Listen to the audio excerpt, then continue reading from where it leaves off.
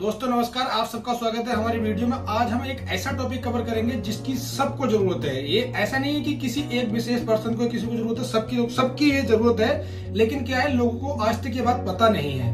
Topic ये है कि आपके नाम पे कितनी सिमें हैं, ये कैसे चेक करें और कितनी सिमें हैं, उनको कैसे बंद करें। जो आपके नाम पे अनावश्यक सिमें खुली हुई हैं, जिनका कोई ज़रूरत ही नहीं है, उनको कैसे बंद करें। और आप खुद ही चेक कर लें कि आपके नाम पे कितनी सिमें हैं। स्टार्ट करने से पहले दोस्तों, अगर आपने अभी तक हमारे चैनल को सब्सक्राइब नहीं किया तो प्लीज़ हमारे चैनल को सब्सक्राइब कर लीजिए, क्योंकि हम ही आपके लिए ऐसी वीडियो लेकर आते हैं, जहाँ आपको नई नई जानकारियाँ मिलती हैं और आपको बहुत चीज़ें मिलती है जो आपने कभी सोची भी नहीं। तो चैनल को जल्दी सब्सक्राइब कर लीजिए और बेलाइकन को कर दीजिए, हिट।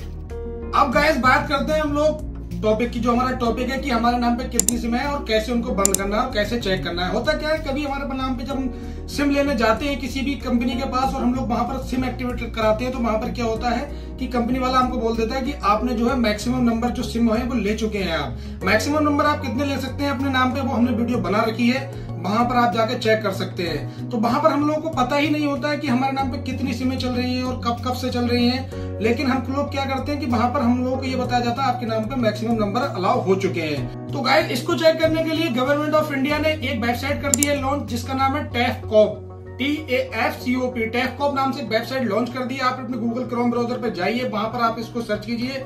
सर्च करने के बाद आप इसको जैसे ही ओपन करेंगे, आपके नाम पर जो रजिस्टर्ड सिम है, जो आपके नाम पर एक्टिवेट सिम है, आप उस नंबर को वहाँ पर फिल कर दीजिए। उसके बाद एक कैप्चा आएगा सिंपल सा, उसको फिल कर दीजिए। एक ओटीपी आएगा ओटीपी के बाद उसको वेरीफाई कर दीजिए। वेरीफाई करने के बाद जहाँ जहाँ भी आपने जो जो नंबर खुलवाए होंगे, वो सब आपके नाम वहाँ पर हो जाएँगे। आप लोग खुद वहाँ पर जाके नंबर को ब्लॉक भी कर सकते हैं। ब्लॉक करने के लिए बिल्कुल वही सिंपल तरीका है। नंबरों को टिक करिए और वहीं से कर दीजिए ब्लॉक आपको जो भी लगता है कि ये नंबर मेरे काम का नहीं है, उसको वहीं से कर दीजिए आप ब्लॉक तो जैसे ही गाइज़ आप वहाँ पर नंबर बंद करने का प्रोसेस करेंगे, वो आपका नंबर दो वर्किंग डेज़ में हो जाएगा, वहाँ से बंद यानी कि नंबर डीएक्टिवेट हो जाएगा। लेकिन आपने कुछ कर दिया, ऐसा कि आपको जो नंबर नहीं करना था बंद, आपने वह भी बंद कर दिया। तो गाइज़ ऐसा क्यों कर दिया? लेकिन आप परेशान होने वाली बात नहीं, अगर आपने ऐसा भी कर दिया है तो आप परेशान मत होइए।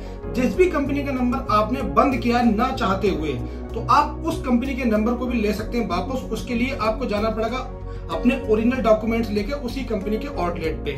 आप वहाँ जाइए और उसको नया सिम कार्ड स्वैप करा लीजिए।